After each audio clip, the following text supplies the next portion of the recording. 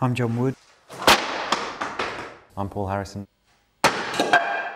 And we're in our studio in Bristol. I guess you could describe it as being a very nice workshop and a very cheap TV studio. That would be the, it's a very kind of basic uh, space.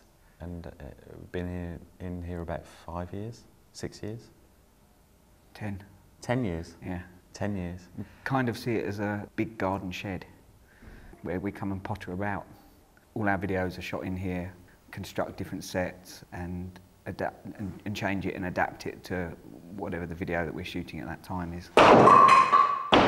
When we began, it always had uh, one or both of us doing some kind of performative action that was often to do with the, the architectural space that we were in. And it first began much more geometrically, uh, using sort of objects that we'd built uh, around the human figure and what boxes you could fit in or what happens if you stood on a semicircle and things like that, to then how a person interacts with an object, maybe in a different way, whether it's a plank of wood or, or a chair hitting you.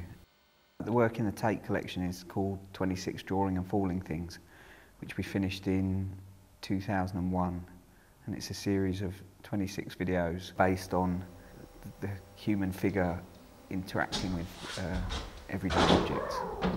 or architectural spaces. One of them was shot in the back of a van. It was us two sat on two office chairs. We built out the back of the van so it looks like a kind of cube space. We slide around in it uh, and sort of crash and bang into the walls. We, we did it across Bristol in the kind of, you know, everyday traffic, uh, which, which turned out to be a slightly um, suicidal. And we thought of it, first of all, it was, it was hysterically funny for us. And we spent, just kept laughing and unable to keep straight faces because it was such a weird sensation to be sliding around in a vehicle as it was moving until uh, a bus pulled out on us and we, uh, I sort of smashed my um, head and neck as I sort of flew down, flew down the van.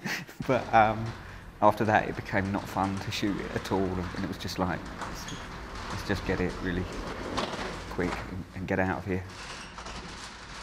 We al- are always trying not to repeat ourselves. We're always trying to push either how stripped down that we can make something that is still watchable or how densely we can push ideas into like one piece of work. Pretty much all of them start with, um, with a drawing or a series of drawings. So there's this kind of whole um, editing process of deciding what the overall structure of the video will be and what goes in it and what doesn't go in it. So there's this whole kind of filtering process through drawings. The filming process will take us a long time to either through getting a take that we're happy with uh, or getting a take that actually works. Um, and at that stage, it's very often slightly like an ordeal trying to get it right.